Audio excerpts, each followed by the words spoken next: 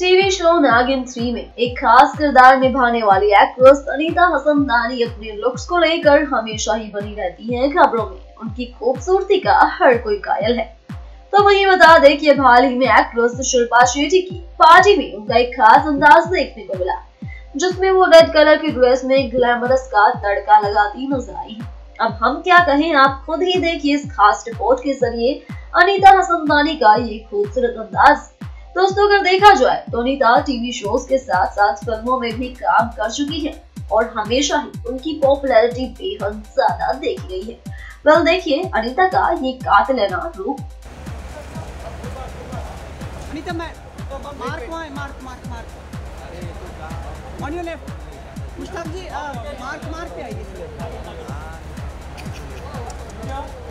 सामने एकदम।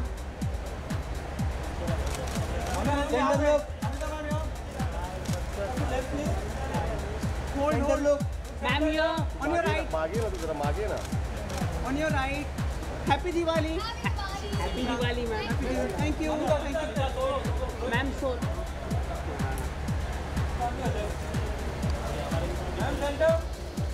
right side Now your right. Side.